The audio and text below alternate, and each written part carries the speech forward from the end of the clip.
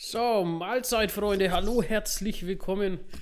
Übung, da haben wir doch gesagt, in Lois Diony werden wir äh, Dribbling, Tempo-Dribbling haben wir gesagt. Da wollte man ja noch verbessern. Äh, weiter geht's mit den Flügelspielern, mit dem guten alten Sebastian Kerr. Dribbling-Parcours lassen wir machen. Innenverteidiger, den Mark Reiter, den lassen wir auch noch mal kommen. Natürlich den guten alten Donnarumma. Den lassen wir mal Abwürfe und Abschläge trainieren. Und last but not least, Füllkrug schwächelt momentan auch ein bisschen. Den lassen wir auch nochmal sicherheitshalber wegen trainieren. Und ja. Gucken wir mal, na, wenigstens Diony hat A. Das freut mich. Das macht doch Hoffnung auf die nächste Partie heute gegen den VfL Bochum. Da möchte ich dann nochmal kurz doch auf die Tabelle schauen. So, Nationaltrainer fertig von Indien, oder? Müsste das sein? Jawohl. Wir lehnen ab. Oder was haltet ihr davon? Wollt ihr da, dass ich so mal so eine Mannschaft trainiere? So, gegen Bochum. Wir machen die Mannschaft und motivieren sie natürlich. Und Nationalteam. Ach Gott, oh Gott. Ein Haufen sind da wieder weg. Sperre abgelaufen. Müssen wir freilich. Gesperrt. Werden wir doch gleich mal machen, denn der Ding ist ja leider gesperrt. Laschlos Sepsi. Haben wir hier ein Hofland? Haben wir einen linken Verteidiger? Haben wir nicht, ne?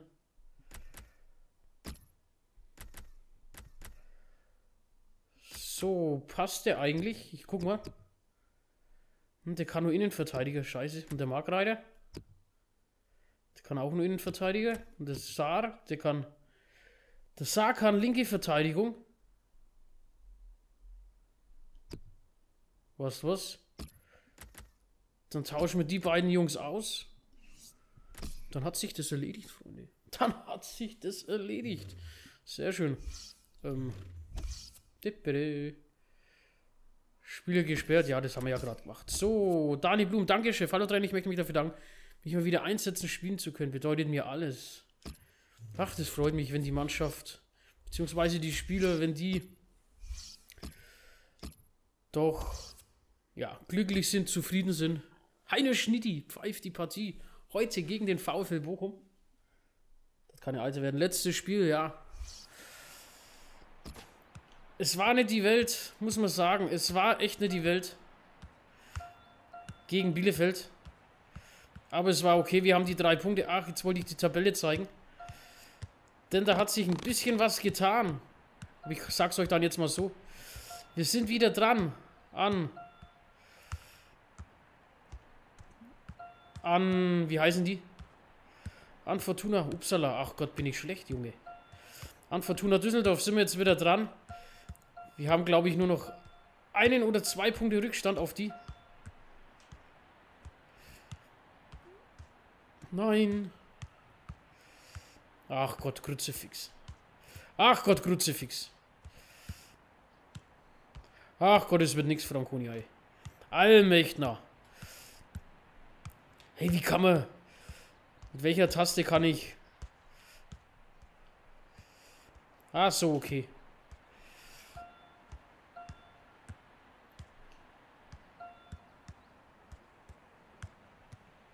Boah, Franconia, was machst denn du, Alter?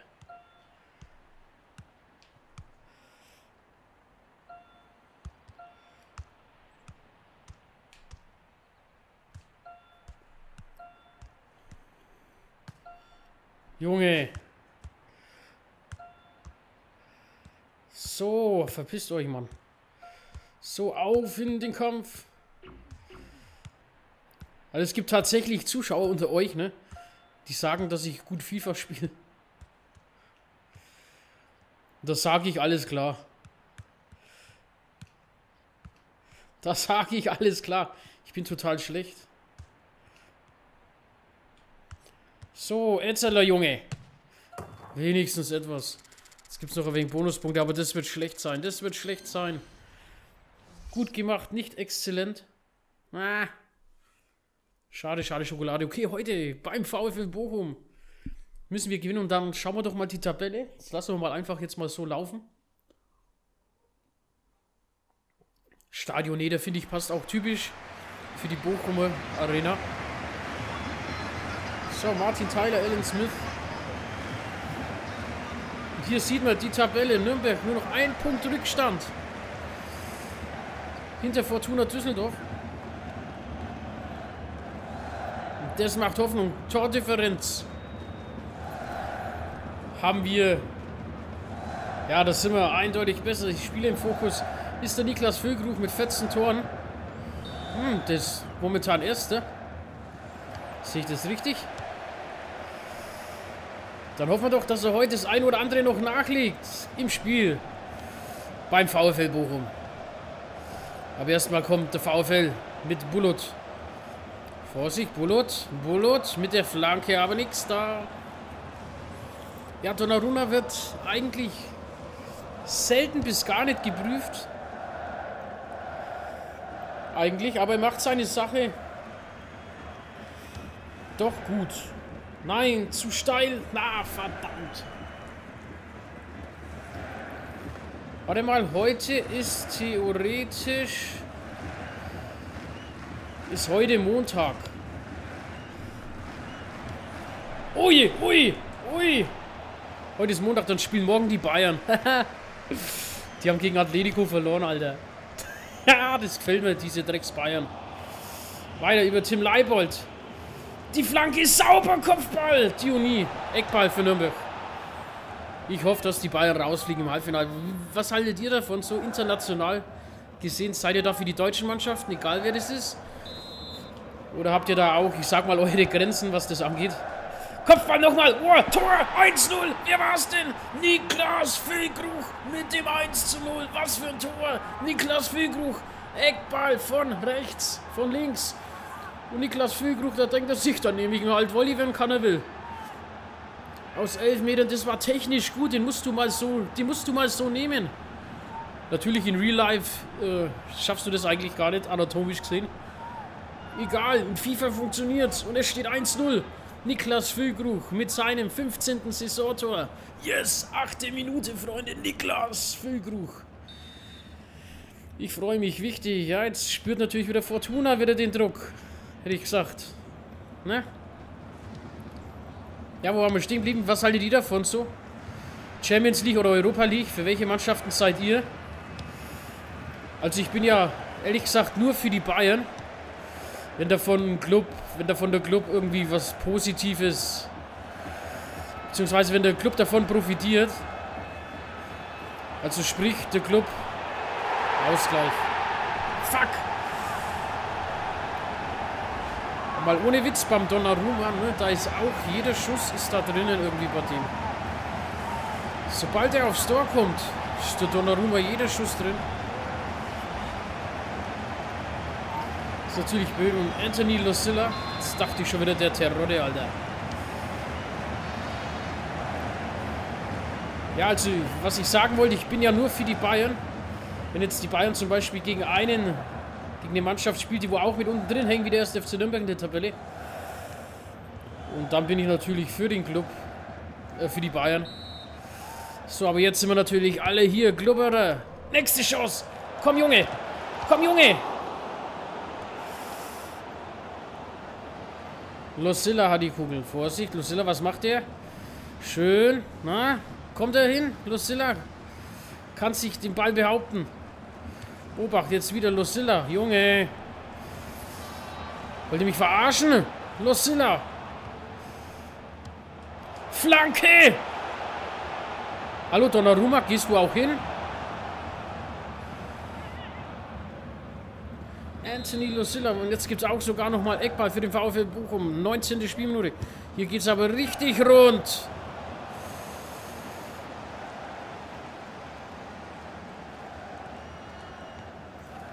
Schön gemacht von Niklas Füllkrug. Jetzt kommt der Leibold. Tim Leibold ist im Strafraum. Am ersten nicht vorbei. Schade. Das wäre es natürlich gewesen. Das wäre die Riesenchance gewesen für den ersten FC Nürnberg auf 2 zu 1 in Führung zu gehen, in Front zu gehen.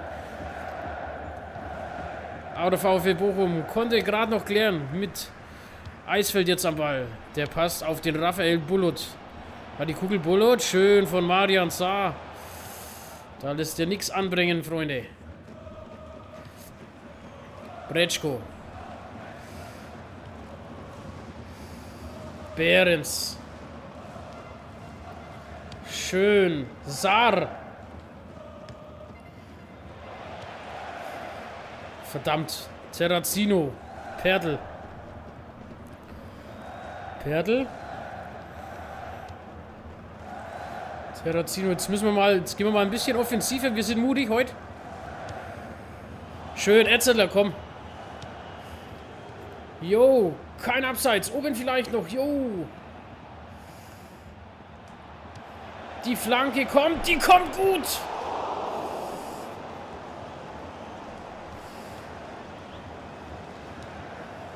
Schieß doch, Junge, schieß doch. Nächste Chance für Nürnberg.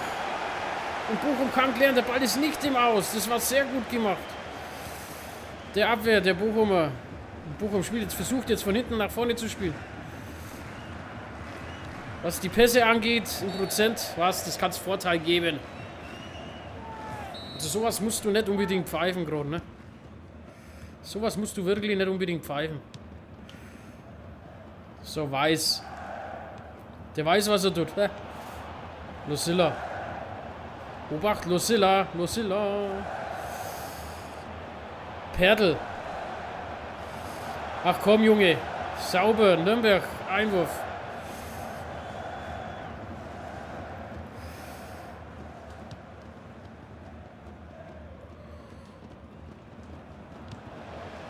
Schön, kommt schon.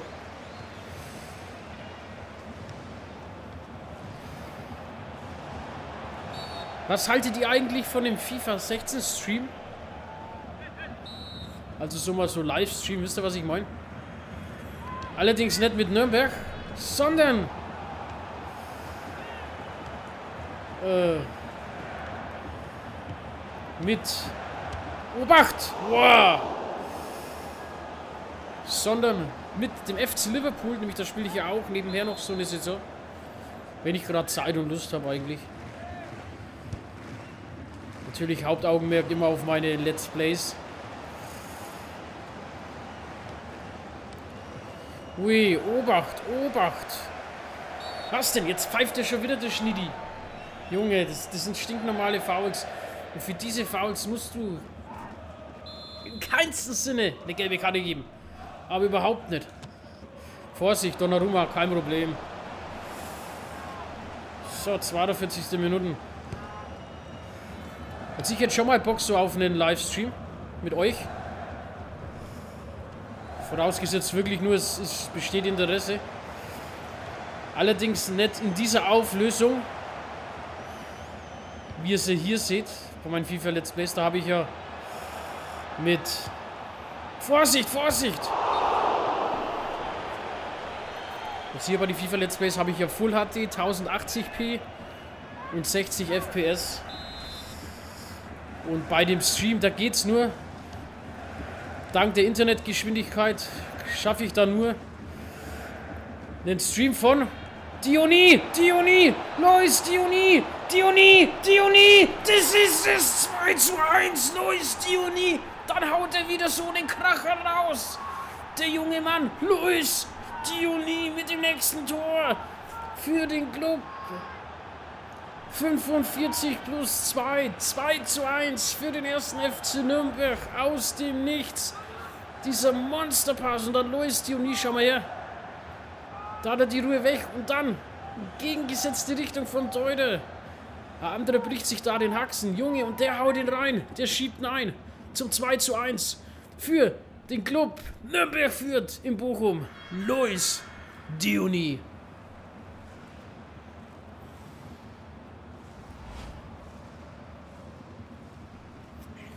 Sein fünftes Tor wird der Mann wieder zum Matchwinner. In diesem Spiel, Fragezeichen, man weiß es nicht. Ja, genau. Dank Internetgeschwindigkeit funktioniert der Stream leider nur, oder kann ich in einer Auflösung von 720p, also normales HD, äh, kann ich liefern.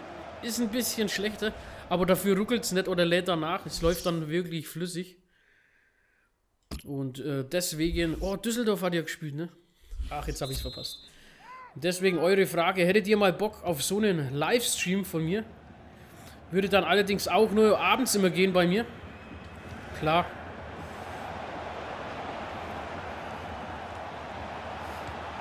Junge, Junge! Nächste Chance, da wäre das Sar. Nee, der Diony wurde es. Wäre doch fast der Diony zu seinem zweiten äh, Tor in diesem Spiel gekommen. Nochmal Kopfball. Nürnberg ist auf der Hut. Nürnberg will hier unbedingt die Entscheidung haben. Schön. Aber wieder nichts, wieder nichts. Und Bullot hat die Kugel. Komm, Guido. Ja, der Diony, der ist... ist schon eine kleine flinke Wiesel, ne? Irgendwie. Schön, kein Abseits. Und nochmal, nächste Chance. Füllkrug, Niklas Füllkrug. Ja, da ist der Füllkrug doch ein wenig schneller. Ich muss beim Diony doch wirklich... Die Sprints muss ich da ein bisschen besser machen. Beziehungsweise muss ich den da noch trainieren, aber der Mann ist noch jung. Der Mann ist noch jung. Der hat noch seine ganze Karriere vor sich. So, weiter. Diony, nein. Schön, kein Abseits. Diony. Diony. Das Wahnsinn. Oh, fast das 3 zu 1 für Nürnberg. Den Ball kriegt er noch. Den holt er noch runter. Haha. Ball ist noch weiter heiß. Wieder der VfL Bochum. Jetzt könnte er vielleicht kontern. Aber Nürnberg hat es sicher. Nürnberg bestimmt das Spiel aktuell nach Belieben. Und weiter geht's, weiter geht's. Über Hanno Behrens, Behrens. Nächste Chance für Nürnberg. Da wird aber nochmal gut zugestellt. Und deswegen doch nicht so die Torchance. Nürnberg, was denn, was denn? Ich habe jetzt, ich habe wirklich nichts gedrückt jetzt. Ich habe jetzt echt nichts gedrückt. Da gibt es trotzdem Foul und Freistoß für Nürnberg. Tobias Weiß geht raus. Und Tim Hoogland. Hoogland, wo hat denn der nochmal gespielt? Das war doch auch mal ein Bundesligaspiel, oder? Der hat auch mal bei der Bundesligamannschaft irgendwo gespielt.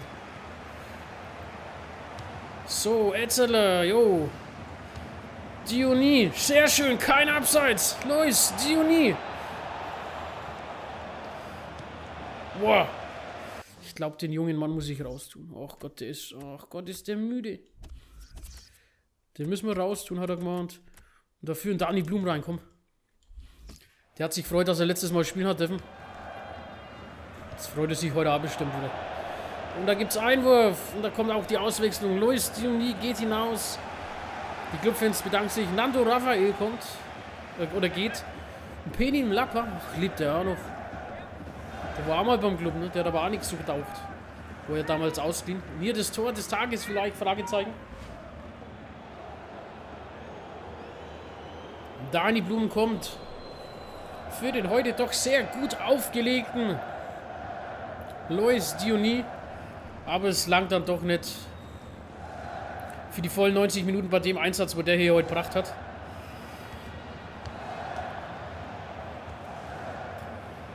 Burgi, Burgi, klasse Flanke! Willst mich verarschen? Und es gibt nochmal Eckball für Nürnberg. Es gibt nochmal Eckball für Nürnberg. Das 66. Spielminute, liebe Sportfreunde. Eckball für den ersten FC Nürnberg. Im regnerischen Bochum, im regnerischen Ruhrgebiet. Eckball für Nürnberg durch Guido Burgstaller. Guido Burgstaller bringt die Kugel rein, die Kugel kommt rein. Dann ist aber niemand da und dann gibt es Einwurf. Leider Gottes Einwurf für den VfL Bochum in der 67. Minute.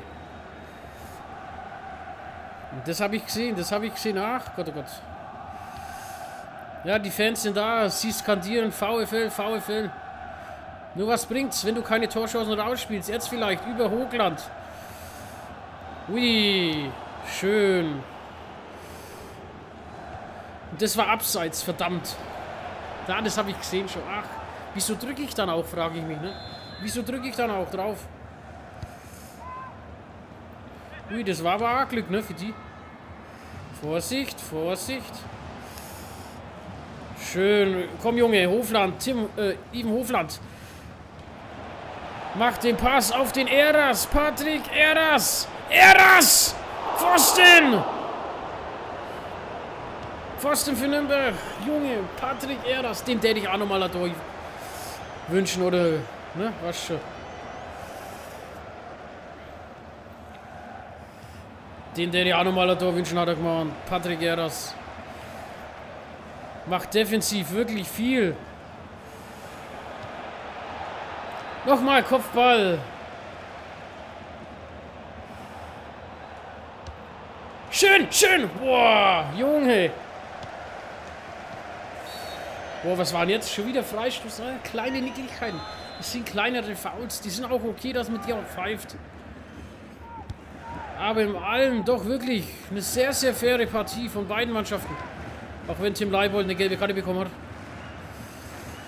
Was auch kein Muss gewesen wäre, sagen wir es mal so. Aber soll's weiterhin. 2 zu 1 für den VfL. Quatsch, für den 1. FC Nürnberg. Etzerler, jetzt können wir vielleicht kontern. Jetzt können wir vielleicht kontern über den Hanno Behrens. Abseits schon wieder. Leck mich doch fett. Aber man sieht, Bochum macht hinten auf und es könnte vielleicht so hinausgehen, dass wir noch das ein oder andere Kontertor, die ein oder andere Chance bekommen werden. Da gibt es nochmal Abseits. Und somit den Sack zumachen können. Behrens. Saar, Marian Saar, sehr schön. Leibold. Schön. Nein, da wollen sie dann Tiki-Taka Fußball spielen. Bringt aber nichts. Ui, Vorsicht, Fehlpass. Schön jetzt dazwischen. Jetzt ist Platz da für den Niklas Füllgruch. Mach ihn! Beras Tor! 3-1! Patrick Eras mit dem 3-1. Die Entscheidung in Bochum. Auswärtssieg der Klubberer Patrick Eras. Hier, Ivan Hofland mit dem Zauberpässle auf Niklas Füllgruch. Und der passt unter Eras. Schiebt's ein. Wie als ob es nichts wäre. Wie als ob es nichts wäre. Zum 3 zu 1. Siegtreffer, Fragezeichen. Vielleicht kommt ja noch das ein oder andere Tor hinzu. Man weiß es nicht. Booster. Booster schmeckt geil. Sauf ich auch. Besser als Red Bull. Drittes Saisontor von Patrick Eras. Zum hochverdienten 3 zu 1 für Nürnberg. Obacht. Obacht. Obacht. Alter, der, diese Donnarumma, ne? Vorsicht! Boah, nochmal Donnarumma und es gibt nochmal Eckball. Donnarumma hält. Ich finde den teilweise unsicher, den Donnarumma, ne? Ich finde den teilweise unsicher.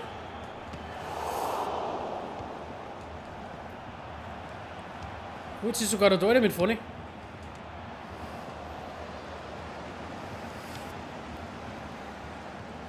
Das ist sogar der Deuter mit vorne von denen. Bochum kommt aber nochmal.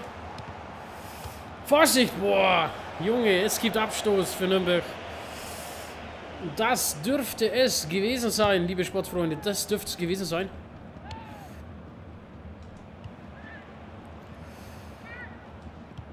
So. Vier Minuten Nachspielzeit. Möchte wissen, für was. Klar, kleinere Fouls, aber da musst du keine vier Minuten Nachspielzeit geben. Nochmal Freistoß, nochmal die Chance vielleicht für den VfL Bochum. Jetzt geht es natürlich auch wieder alle mit nach vorne bei die Bochumer. So, dritte Minute der Nachspielzeit ist rum. Abstoß für Nürnberg. Und das war es jetzt endgültig. Nein! Das war es endgültig. Jetzt wird er abpfeifen, denke ich. So ist es, Nürnberg! holt einen wichtigen Auswärtsdreier beim VfL Bochum, Freunde. Und dann hätte ich gesagt, was das auch. Yes, wichtig. Donnarumma, ah, ich weiß es nicht. Schreibt es mal in die Kommentare, ob ich ihn weiter in der ersten Mannschaft lassen soll. In der Startaufstellung. Ich weiß es nicht, der ist schon teilweise recht unsicher, aber okay. Solange wir gewinnen, ist alles gut, Freunde. In diesem Sinne, danke fürs Zuschauen und bis morgen zu FIFA 16 mit dem Club. Servus.